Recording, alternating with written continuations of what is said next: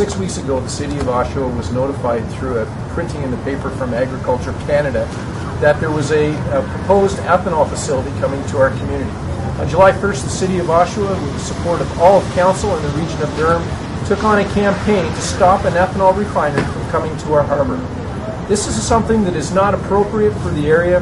We have a willing host in Brock Township, part of the Durham region, that would be willing to take and build this refinery in their community, the community where they actually grow corn.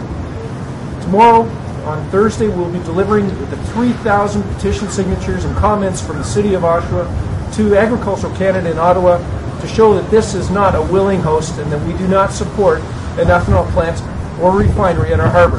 The City of Oshawa is in support of biofuels and does support a plant, but just not at this location. On behalf of the City of Oshawa and the Council of the City of Oshawa region of Durham, for those who have participated, I want to say thank you to the public for their support.